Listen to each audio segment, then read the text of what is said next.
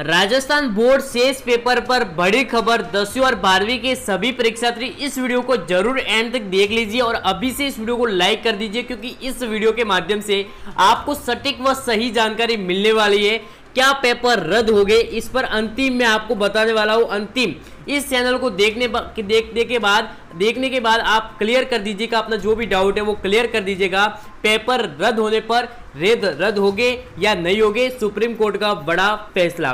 वैसे तो मैं आपको बता दूँ सुविधा अनुसार आपके कि सुप्रीम कोर्ट के द्वारा जो फैसला दिया गया है, उसकी जो न्यूज़ है, वो कल के शैक्षिक समाचार में आने वाला है कि सीबीएसई e के बोर्ड के पेपर होंगे या नहीं, या फिर रद्द कराए जाएँगे। लेकिन इस वीडियो में आपको ओनली फॉर आरबीसी स्टूडेंट ही सुने। आरबीसी टेंथ और ट्वेल्थ विद्यार्थियों के लिए बड़ी एक खबर है, वो मैं आपको बताने वाला हूँ। तो बस वीडियो को एंड तक देखिएगा और यदि चैनल पर को सब्सक्राइब करके बेल आइकन को प्रेस कर दीजिएगा ऐसे ऐसे नए अपडेट्स वीडियोस पाने के लिए।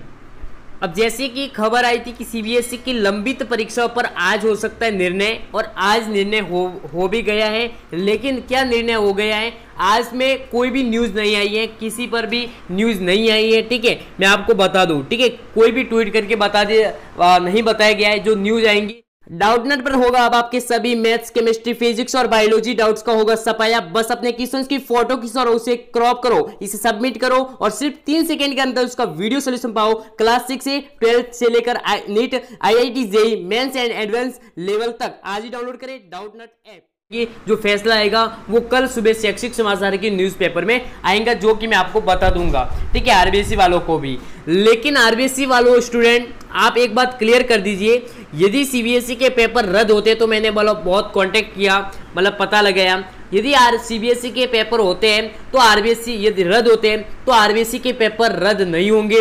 90 परसेंट संभावना है कि रद्द नहीं होंगे। अब पेपर रद्द नहीं हो सकते 95 परसेंट जा सकती है, सुबह तक। ठीक है, सुबह तक जो रेटिंग है वो नाइन्टी फाइव परसेंट जाएँगी। ठीक है चाहे आप कितने कमेंट कीजिए, आप बोल रहे हो जनरल प्रमोशन चाहिए, दसवीं वाले बहुत सारे विद्यार्थी बोल रहे हैं, बारहवीं जिनके पेपर बसे हुए वो भी बोल रहे हैं, लेकिन मैं आपको बात एक बात क्लियर कर दूँ, अब आपको नहीं मिल सकता, ठीक है, अब आपको जनरल प्रमोशन नहीं मिल सकता, अब आपको बस परीक्षाएँ होगी आरबीसी टेंथ और ट्वेल्थ दोनों की जो भी शेष परीक्षा है, वो ज़रूर होगी 30 जून 2020 तक सभी संपन्न परीक्षाएँ करवाई जाएगी। सभी परीक्षाएँ है, वो रिमेमिंग जो पेपर है, वो संपन्न कराए जाएँगे और उसके बाद रिज़ल्ट है वो जुलाई मंथ में जारी कर दिया जाएगा। तो आरबीसी स्टूडेंट अपना जो भी डाउट है, चाहे आप इस वीडियो को डिसलाइक ही करो, चाहे लाइक करो, चाहे कैसे कमेंट करो, लेकिन मैं आप एक बात आज क्लियर कर दूँ कि 95 परसेंट नाइन्टी परसेंट जो चांस है कि पेपर रद्द अब नहीं हो सकते किसी भी हालत में, किसी भी परिस्थिति में, चाहे कितने ही केसेस बढ़ जाए, ये मैं आपको बता दूँ। और ये बात एकदम क्लियर है। अपना जो भी डाउट था, अभी से क्लियर कर दीजिए आरबीसी के कोई पेपर रद्द नहीं होंगे। ये मैं आपको बता दूँ। अब सीबीएसई का क्या फैसला आता है, मैं आपको कल सुबह जल्द से जल्द बताने की कोशिश करूँगा, जल्द वीडियो बनाऊँगा।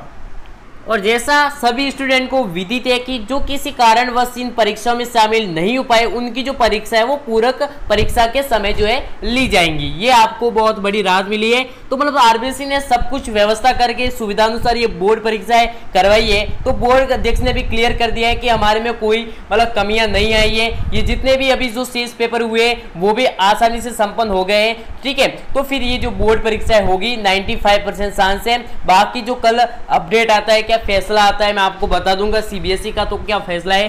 रद्द होंगे या नहीं होंगे, लेकिन इसका अब आरबीएसई पर कोई प्रभाव नहीं पड़ेगा।